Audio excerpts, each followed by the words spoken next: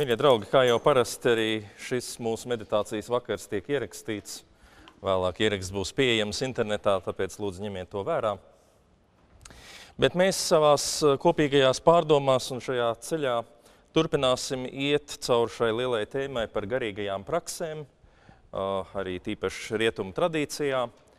Un šovakar, izmantojot to, ka tiešām ir gada sākums un vēl vakar svinējām zvaigznes dienu un ir tāds mazliet varbūt līdz ar to filozofiskāks vismaz manī noskaņojums.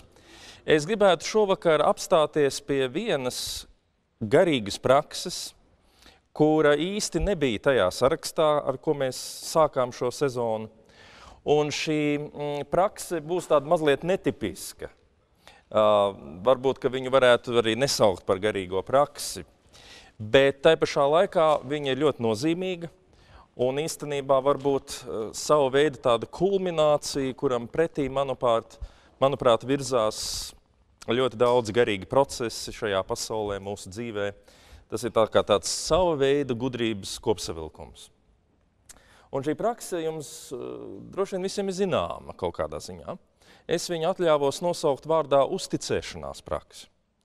Bet uh, to varētu dažādi saukt. Ticības prakse, paļā, paļāvības prakse mācīšanās, citiem vārdiem sakot, ļauties un iekļauties tajā lielajā procesā, kas ir šī dzīve un, un šī pasaule.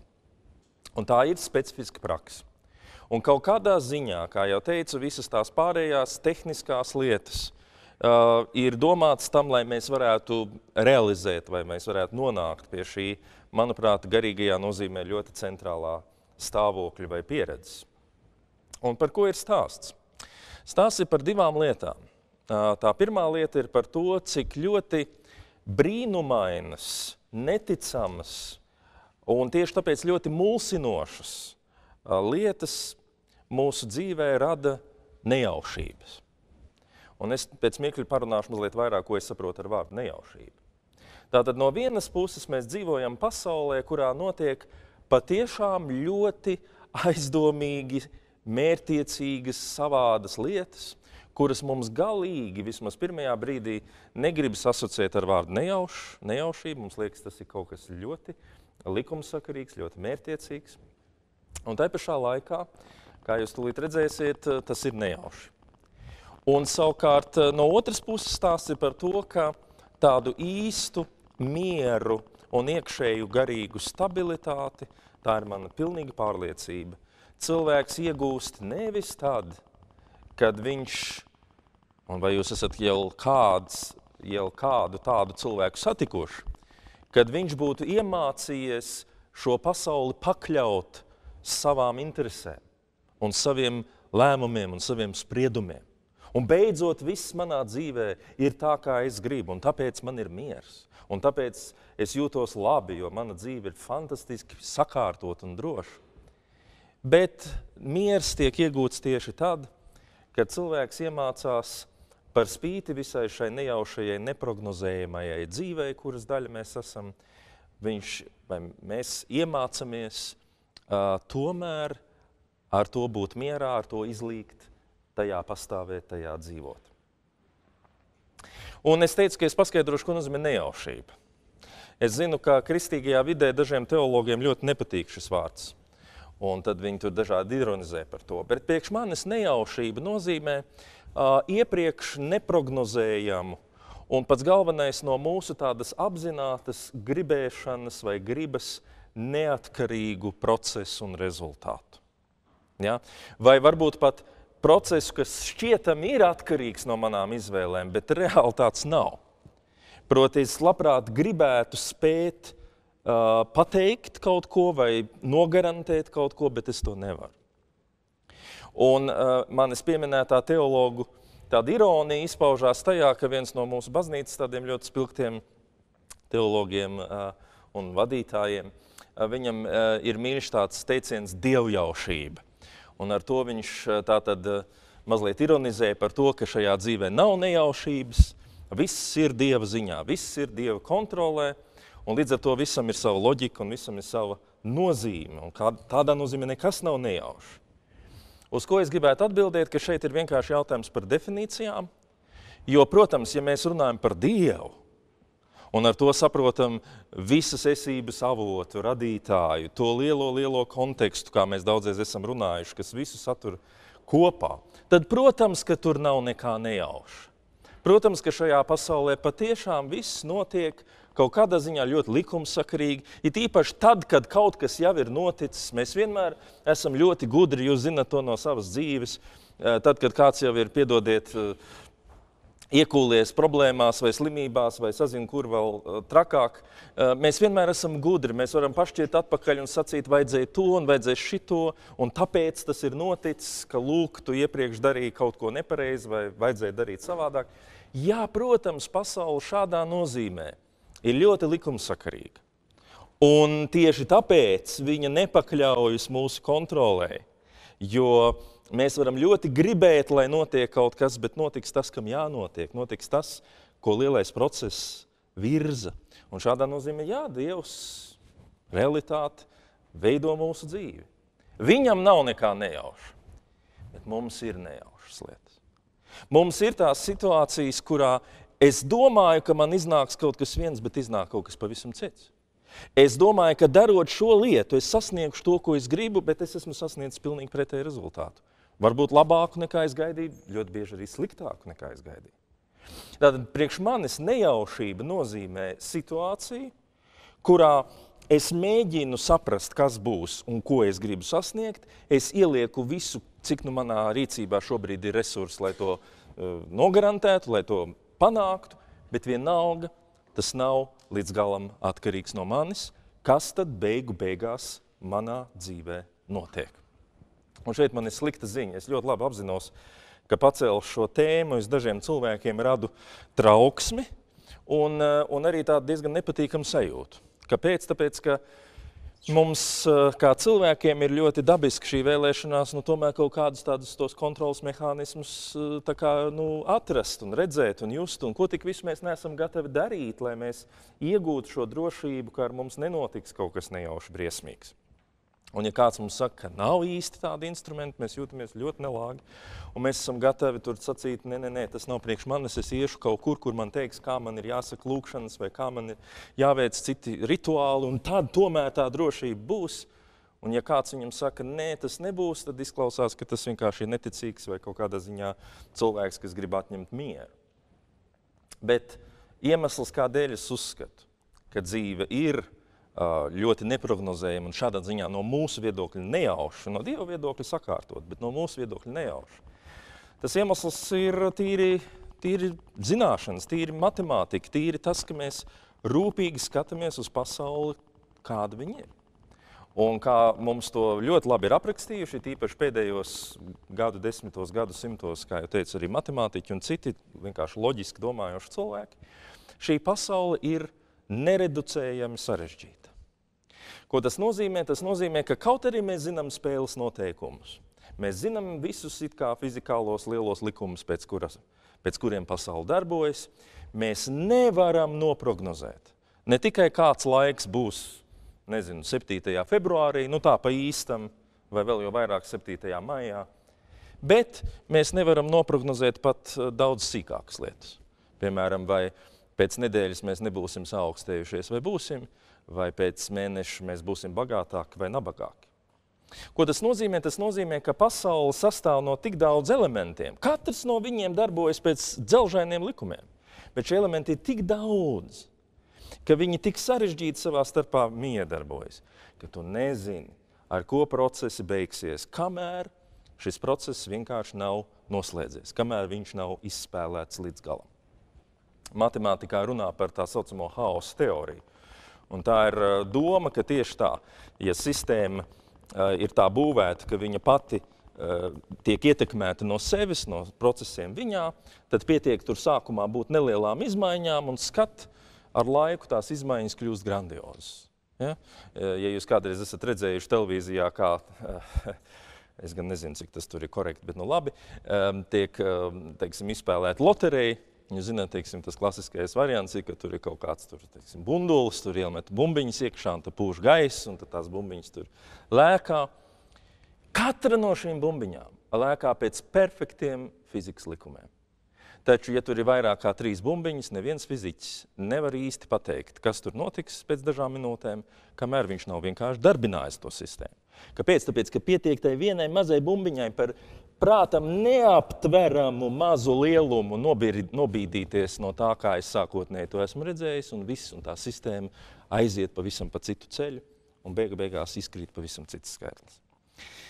Tas ir, ko nozīmē haoss. Haoss nenozīmē, ka nav kārtības likumībās.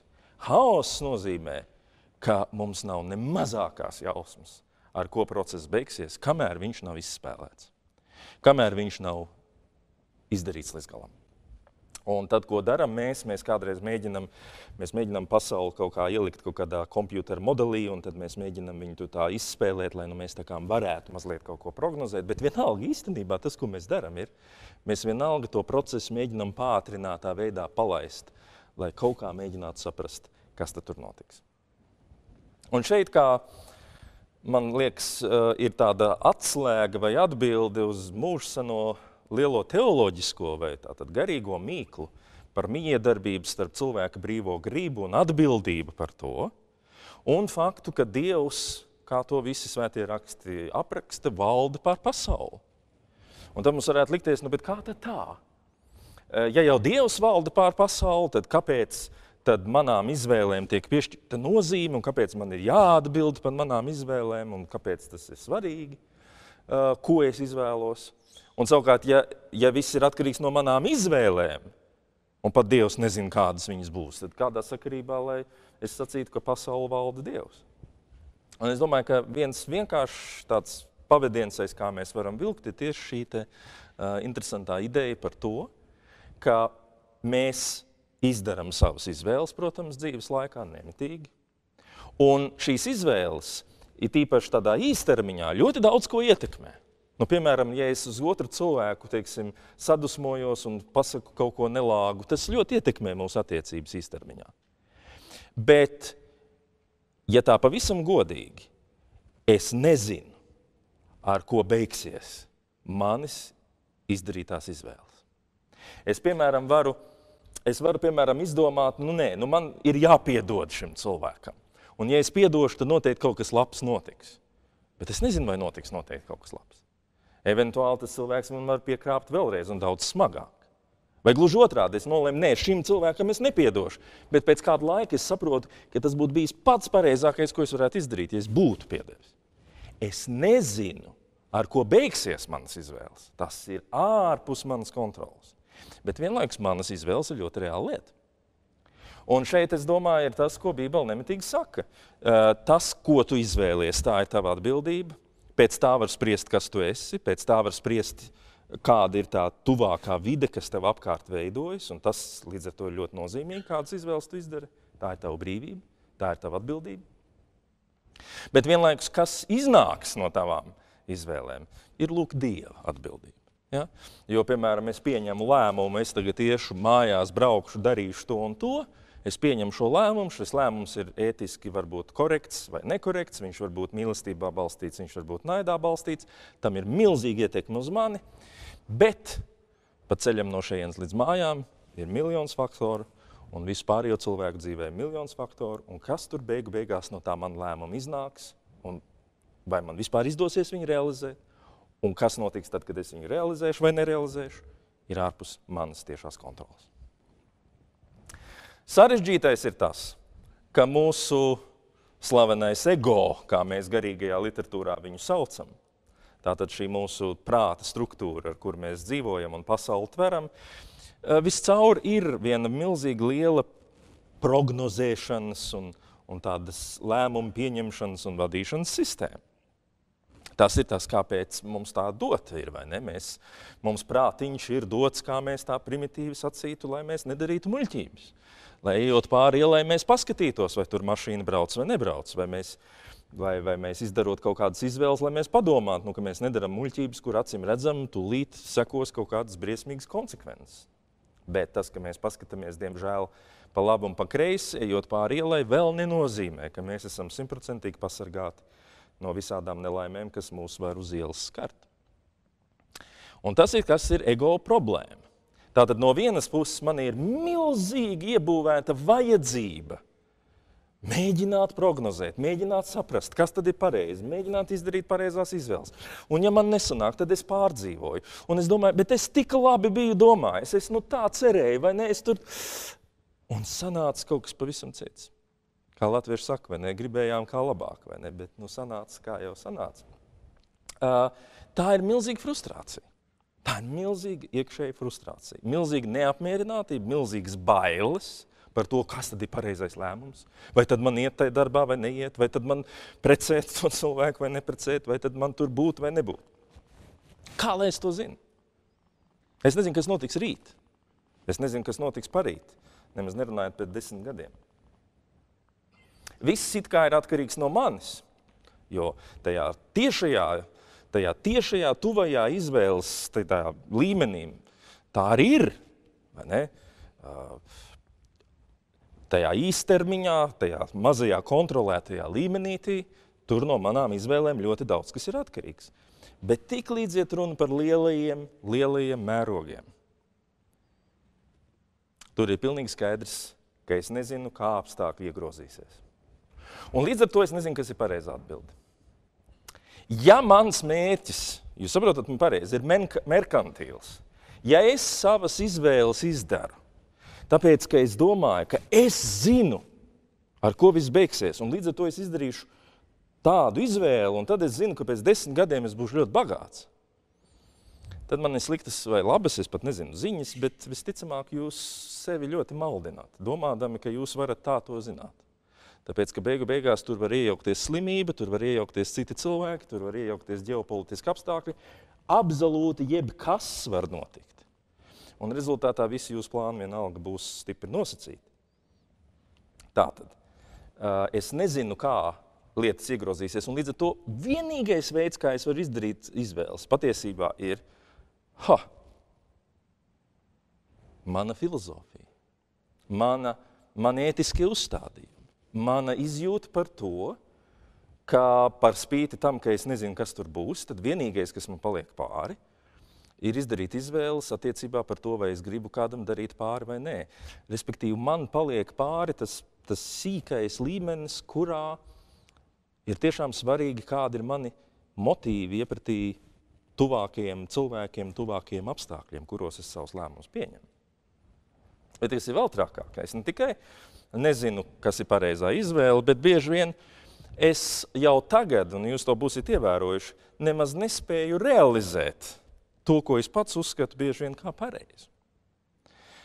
Nezinu, vai jūs to esat pamanījuši, bet manā dzīvē ir bijušas situācijas, kad es kā zinu, kā vajadzētu rīkoties, bet es jau tagad nevaru to izdarīt, jo lūk, ir miljonus citu apstākļu, kas tam traucē. Un es saprotu, ka varbūt vajadzētu tā, Bet jau tagad es jūtu, ka manu dzīvi vada ne jau tikai manas izvēles, bet lielie spēki, lielie procesi, kuri jau šobrīd man traucē manus lēmumus pieņemt tā, kā varbūt es to gribētu. Ja. Līdz ar to, jā, es varu sīkos mērogos kontrolēt lietas, man slāpst, es uztaisu sev tējiņu, es remdēju savus slāpes. Es varu ļoti konkrētas lietas darīt. Nu, protams, es varu izgāzt to tēju un aplaucēties un nonākt slimnīcā, bet nu, parasti tā nav. Es līdz ar to mēģinu tajā mikro līmenī dzīvot. Bet tiklīdz ir runa par lielo līmeni, es tagad būšu laimīgs. Es tagad pieņemšu lēmumu. Turpmāk man viss izdosies. Dzīvošu veiksmīgu dzīvi. To man pašā beigās varēs apstīties, cik viņi bija veiksmīgi vai nebija veiksmīgi. Vai ne. Bet eh, šobrīd es nezinu, kas ir veiksme. Es tiešām to nezinu. Uh, kāds no Latvijas lieliem miljonāriem man savā laikā stāstīja, kā viņš pieņems lēmumu, viņam piedāvāts brīnišķīgs darbs padomu laika beigās, kā jaunam perspektīvam cilvēkam, darbs Rīgā, ministrijā, būt par ierēdni. Brīnišķīga vieta. Tā vietā, lai viņš atgrieztos savā dzimtajā pilsētā, no kurienes viņš bija cēlies. Un viņš pieņem, nē, viņš grib tomēr te dzimtajā pilsētā. Un viņš saka, ja es nebūtu atgriezies, es nekad nebūtu tas, kas es esmu šobrīd. Jo tāpēc, ka viņš tajā savā dzimtajā pilsētā bija pirmais starp visiem.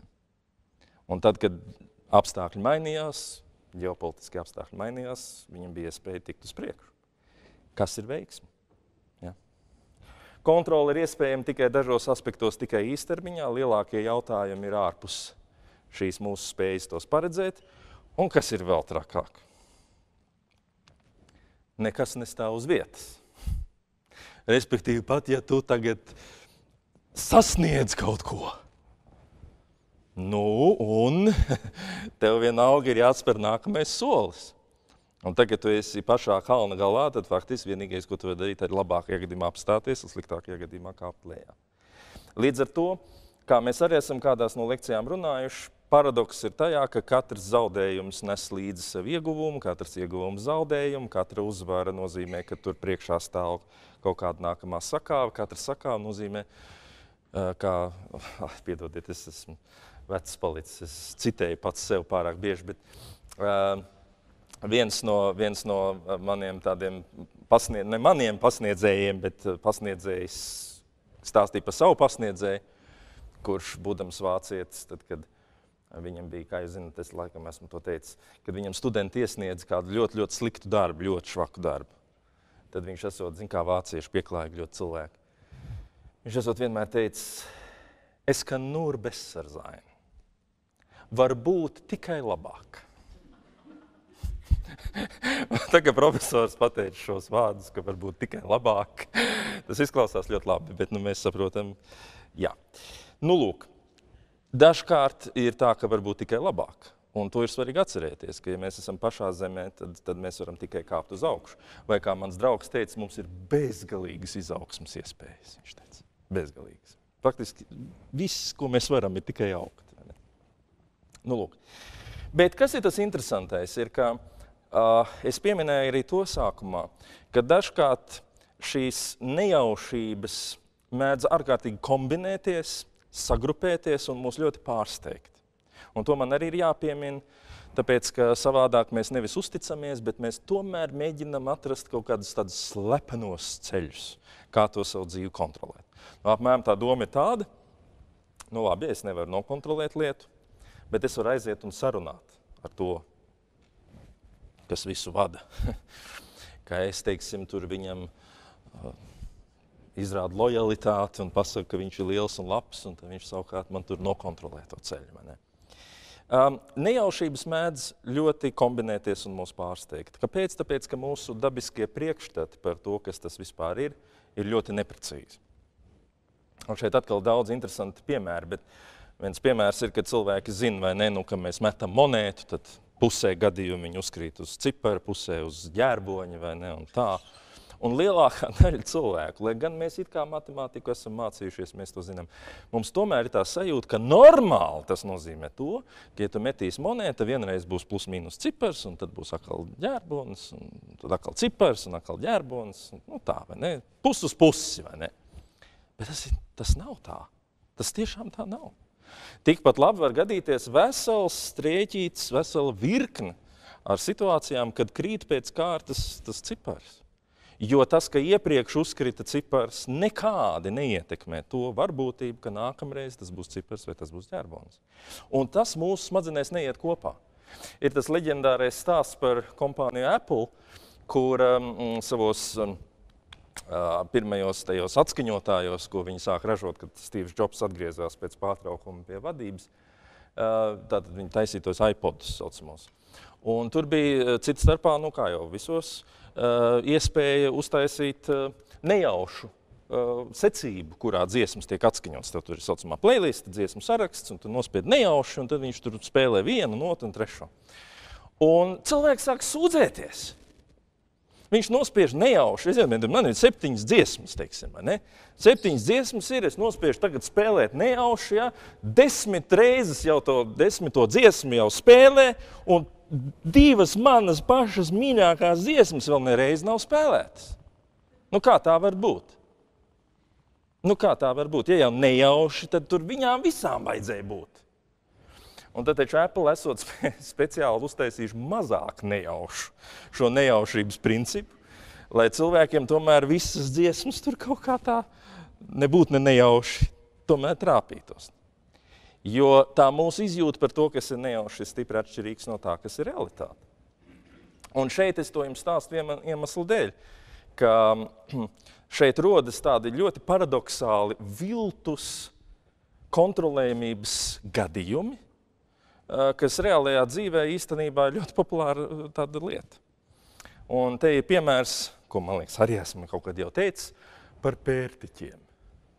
Par pērtiķiem, kuri piedalījās fondu biržu spekulācijās. Es nevienam neko nesaku. Tas ir tīri eksperiments domās. Pērtiķi vienkārši izgudrojums.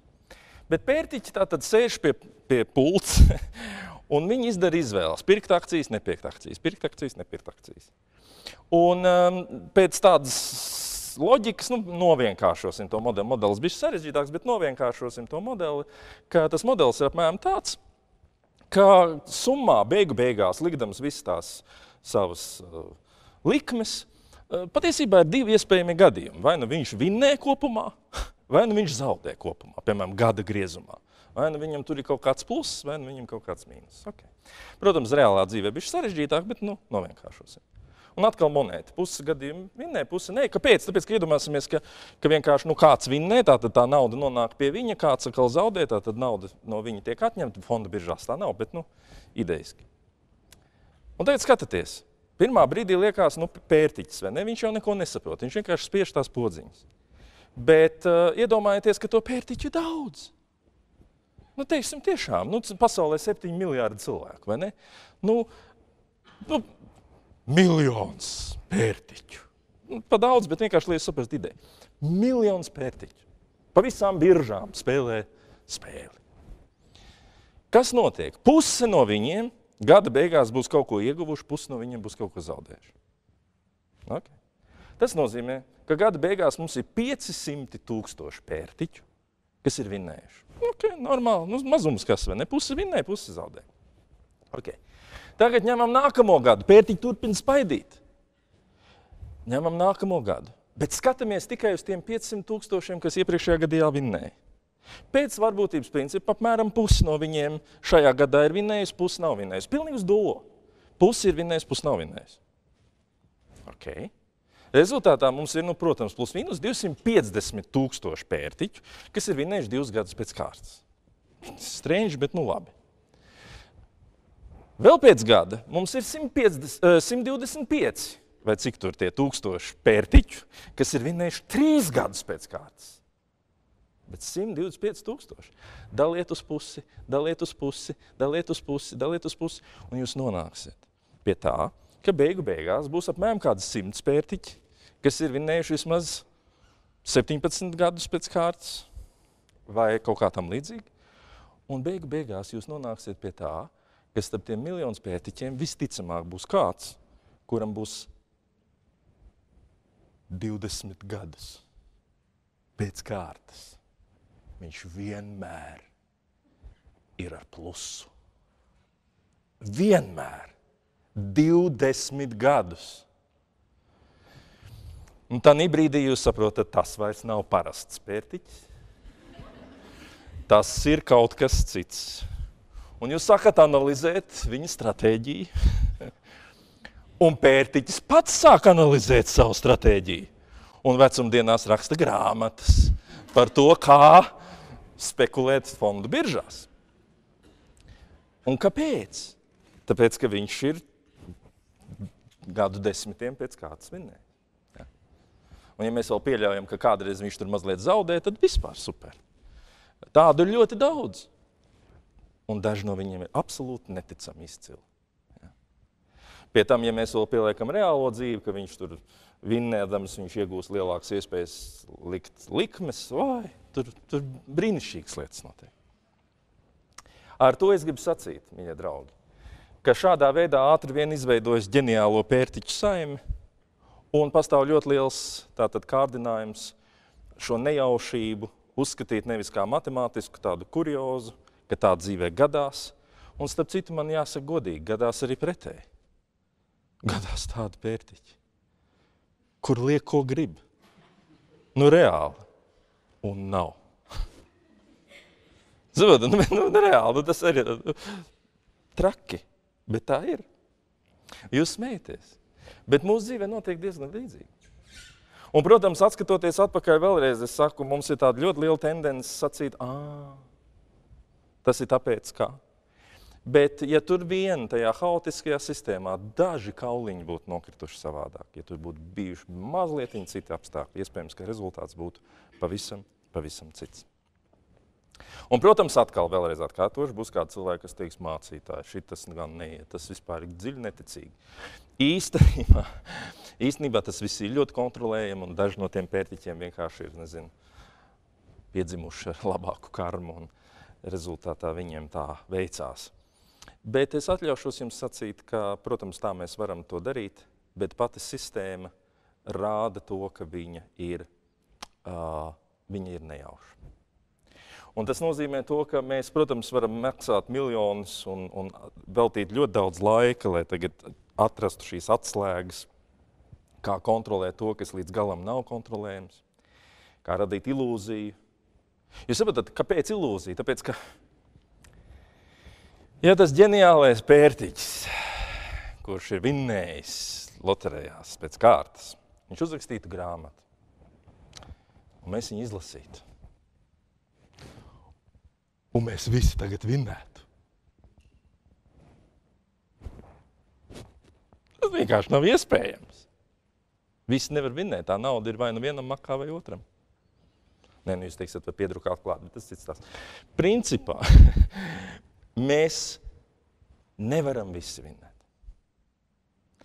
Un tāpēc šies, šis stāsts ir viņš ir diezgan sarežģīts, maigi sakot. Es nesaku, ka īstermiņā nav pareizākas stratēģijas. Es nesaku par to, ka nevajag domāt, ko tu dari. Es nesaku to, bet es saku, esam uzmanīgi. Jo plašāki mērogi, jo lielāki jautājumi, jo īstenībā svarīgāki jautājumi, jo vairāk mēs esam atkarīgi no Dieva, no realitātes, no lielā procesa. Mums tas var nepatikt. Tas var radīt zināmu, zināmas bēdas mūsu ego. Bet, ja mēs mazliet izturam to pirmo nepatiku, mēs atklāsim, ka tai lietai ir atkal otra puse. Un tā otra puse ir tieši tas, ka tas nozīmē, ka mēs arī daudzreiz par daudz sev pārmetam, daudzreiz par daudz pārdzīvojam par to, kas tiešām ir ārpus mūsu tiešās kontrolas. Mēs atbildam par savām izvēlēm. Ar savām izvēlēm mēs radām vidi, kurā mēs atrodamies. Vai nu viņi ir agresīvi vai mīlestības pilni? Jā. Bet, protams, tā nav garantija, ka nekas nenotiks. Mēs varam kāpināt kaut kādas iespējas, bet mēs nevaram to kontrolēt. Ja. Un te mēs nākam atpakaļ pie tā, ko es sāku. Pie šīs garīgās prakses, kas saka, šo lietu šīs patiesības, šīs realitātes ir vērts ņemt vērā. Kristīgajā rietumteoloģijā, tātad, respektīvi, rietumu terminoloģijā, tas ir stāsts par to, ka, ka es apzinos šo dieva providenci, dieva klātbūtni un saprotu, ka viss nav atkarīgs no manis. Un tas manam ego ir liels trieciens.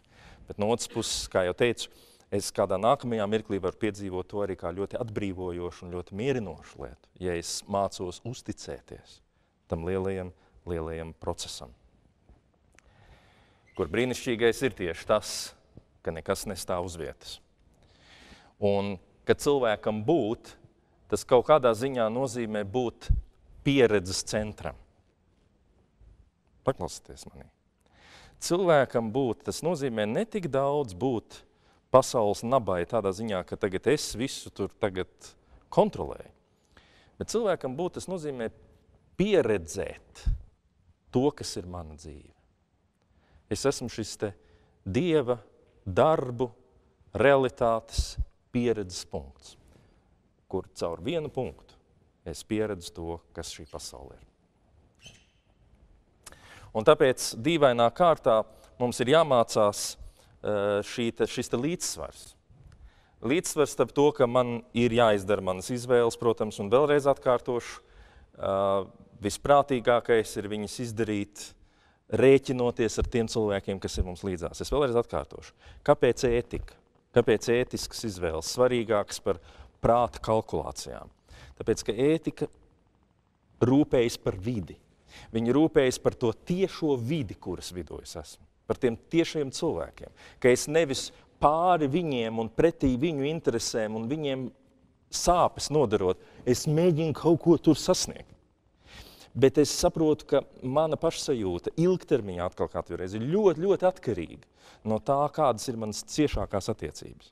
Un līdz ar to mans galvenais uzdevums manās izvēlēs ir ne tik daudz mēģināt visu prognozēt, kā rūpēties un redzēt tos, kas ir man līdzās. Tā ir ļoti gudra stratēģija.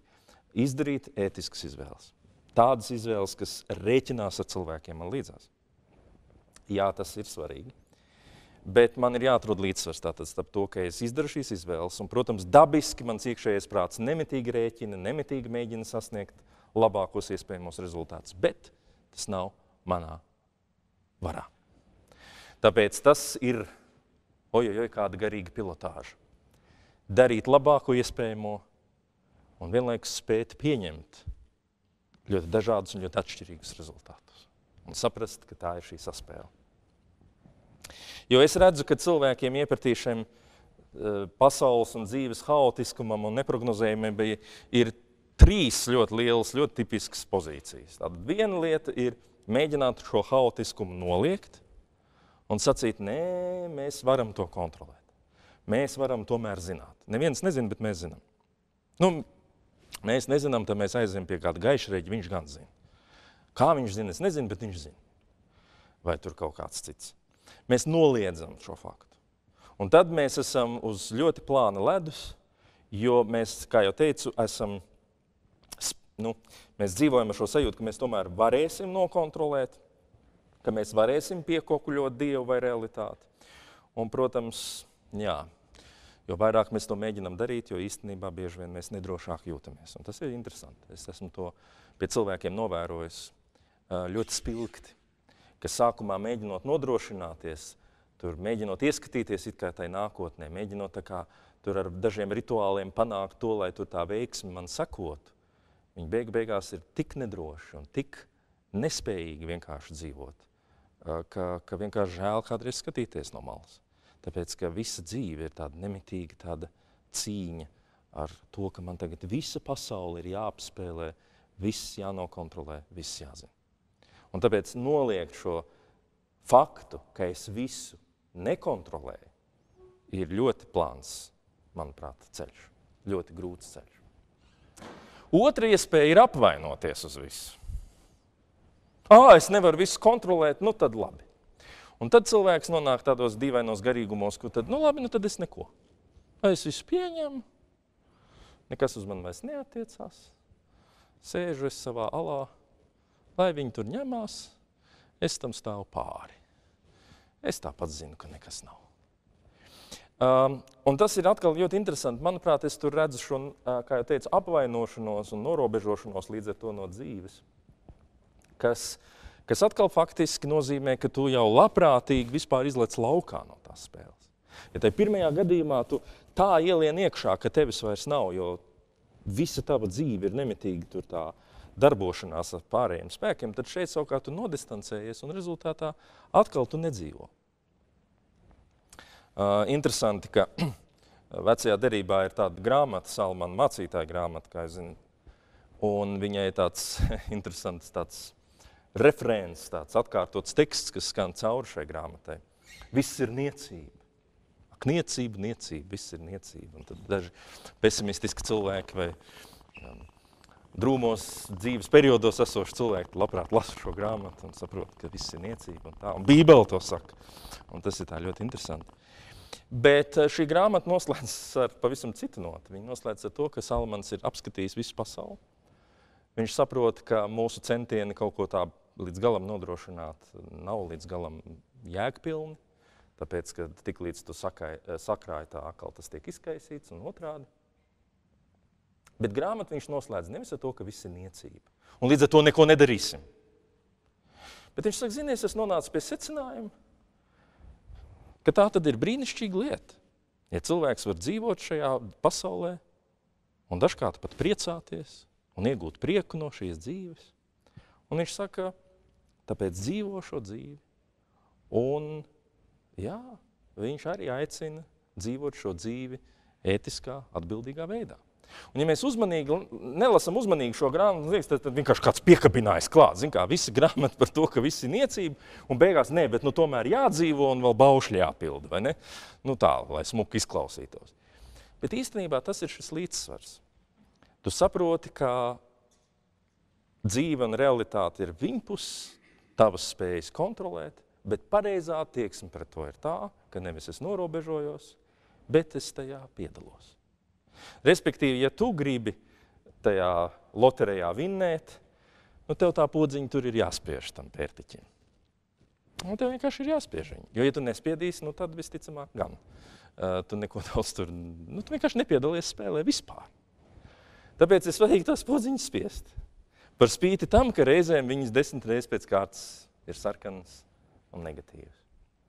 Un man liekas, ka tā ir viena ļoti svarīga garīga praktizēšanās prakse, kuras laikā mēs mācāmies uzticēties nevis savām spējām visu paredzēt un nokontrolēt, bet uzticēties šim procesam, kurš nemitīgi no manis prasa izdarīt izvēles, es šīs izvēles arī izdaru.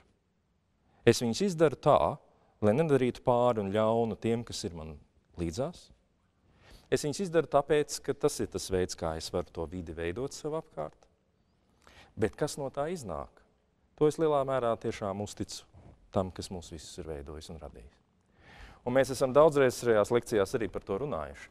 Ka īstenībā, ja mēs mazliet aizdomājamies, tas, ka mēs šeit esam un tādi, kādi mēs esam, ir šī lielā procesa vai dieva vai radītāja vai realitātes dāvana. Mēs esam šeit tādi, kādi esam, tāpēc, ka šis process mūs ir izveidojis. Mēs esam dieva darbu izpausme. Mēs esam unikāli, neatkārtojami šī visuma izpausme. Visums izpaužās caur to, ka mēs šeit esam. Dievs izpaužās caur to, ka Viņš mūs rada. Un no šāda viedokļa mums nav iemesla neusticēties īstenībā. Jo kāpēc mēs neusticētos procesam, kas mūs ir radījis, kas mūs ir izveidojis? Tādus, kā mēs te tagad esam sabijušies par to, kas ar mums būs. Un līdz ar to šī mācīšanās piedalīties un vienlaikus atlaist uh, ir tā, ko mēs jā, visas savas dzīves garumā darām. Un tādas šīs pārdomas man raisījās arī šie, šo gadu iesākot, kur, protams, cilvēkiem vienmēr tas jautājums, kā tas būs un kas mums sagaida. Un jāieskatās varbūt kādā, kādās tabulās, kas mums rāda, kas mums sagaida. Kaut ko varam paredzēt, kaut ko ļoti nevaram. Un tāpēc, ko mums darīt? Pārnervozēt jēgu, mēģināt tagad nokontrolēt to, ko mēs nevaram. Nodistancēties, teikt, nav vērts. Nē, atrast šo līdzsvaru. Un tad pašā beigās es gribu tomēr piepilināt, ka tas ir tāpat kā meditācijā. Jo meditācijā kas notiek? Ir tieši tas pats moments. Meditācija nenozīmē censties nonākt īpašā stāvoklī, kur nekas nenotiek. Kur doma nav, ir miers. Es mazliet kariķēju to. Tāpēc, ka cilvēki nemitīgi aizmirst šo vienu lietu. Miers rodas, bet viņš nekad nerodas, ja tu viņu meklē šādā formātā. Tāpēc, ka tad tev viss kaitina. Ja tu gribi, lai doma nav un miers ir, tad kaitina jebkas. Beigās es pats sev kaitinu visvairāk, bet nu, tie citi, protams, vispirms. Meditācija saka tā, tu ļauj notikt lietām. Tu ļauj notikt arī tām domām, arī tām sajūtām. Bet tu viņām nepieķeries, tu viņas pamani un tu viņas palaid vaļā. Un tu turpini izdarīt savu izvēli, būt šeit un tagad un ļaut tam procesam notikt. Ja? Un kaut kādā ziņā tāpēc man liekas, ka ja mēs korekti šo meditatīvo praksi praktizējam, mēs mācāmies visai dzīvē šo interesanto parādību, ka, ka dzīve ir neprognozējama. Tāpat kā, iedomājieties, mēs pat savas domas nevaram nokontrolēt. Ticat man, ja jūs esat vērīgi meditācijā, jūs pamanīsiet to, ka domas rodas pašas. Impulsi rodas paši. Tā ko tad es vispār varu nokontrolēt? Bet es varu viņus pamanīt, es varu palaist viņus vaļā. Un dīvainā kārtā tieši tad, kad es viņus palaidu vaļā, tad, kad es ļauju viņām būt, tur dziļumā uzaust tas dziļais iekšējais miers. Es uzticos, ir labi. Ir labi. Un tad, kad meditācija beigsies, es celšos, es pieņemšu savus lēmumus, es darīšu to, ko es uzskatu par pareizu. Bet es mācos arī brīžiem apstāties un ļaut procesam notikt. Un izrādās, nekas briesmīgs nenotiek arī tad, ja es vienkārši pasēžu un es vienkārši ļauju pasaulē griezties. Ļauju procesam notikt. Un šī māksla, šis ritms starp darbību un atpūtu vai mieru ir viena no ļoti svarīgām garīgām praksēm, kas tātad fokusējas ne tikai uz meditācijas brīdi, bet uz visu manu dzīvi, uz visu manu attieksmi par to, kas manā dzīvē notiek. Lūk, varbūt kādi jautājumi, komentāri, iebildumi. Lūdzu.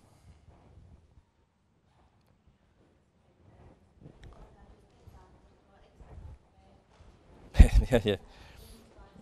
jā.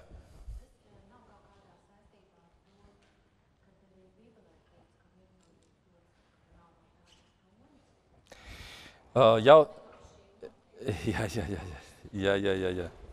Um, jautājums bija par to, vai tomēr tas par tiem pērtiķiem domājot nav tā, ka, kā Bībelē sacīts, kam ir, tam tiks dots, un kam nav, tam atņems arī to, respektīvi, kam ir maz, tam atņems arī to, kas tam ir.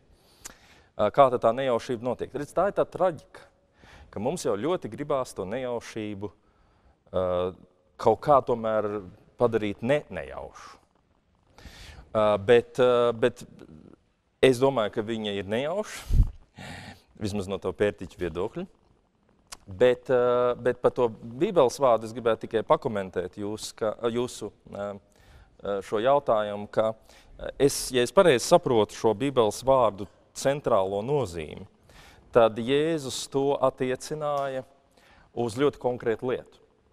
Viņš izmanto šo izteicienu, lai paskaidrotu mazliet tuvāk, kāpēc viņš, mācot cilvēkus, izmanto galvenokārt metaforas, līdzības, stāstus, nevis kaut kādus tiešus, direktus apgalvojumus.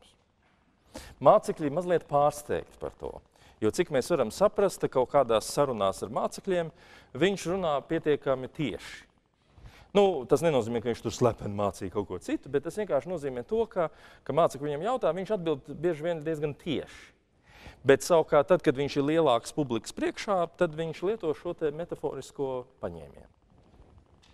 Un, eh, un paskaidrojot šo lietu, Jēzus tā tad saka, ka viņš to dara tāpēc, ka cilvēku sirdis mēdz būt nocietinātas, un cilvēki mēdz um, kā lai jums pasaka, viņi mēdz nesaprast lietas būtību.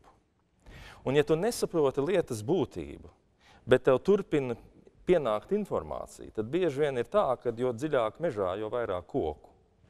Un uh, tas ir ļoti bieži sakāms arī attiecībā, piemēram, par Bībeles lasīšanu kā tādu. Es uzdrošinos jums apgalvot, ka ja cilvēkam nav uh, dota vai nu ļoti liels talants, protams, Vai tomēr visticamāk, ja viņam nav dota laba garīga tāda ievirze, kaut kāds tāds, nu, tā kā tāda atslēdziņa rokās, ar ko saprast tos debesu valstības noslēpumus, saprast, par ko vispār ir stāsts, tad tā grāmata ir tik daudz slāņaina, tur ir tik daudz dažādu tekstu, ka cilvēkam pamazām tā skaidrība nevis lielāka paliek, bet beigās viņš vispār vairs neko nesaprot. Un savukārt, ja tev ir tā atslēga rokā, ja tev ir, teiksim, tā pamatideja tomēr ir skaidra, tad lasot šos dažādos tekstus, tu aizvien vairāk un vairāk no dažādiem skatu punktiem saproti lietas un viņi noskaidrojas. Lūdzu, kam ir, tam tiks dots, tam tas tā skaidrība aug.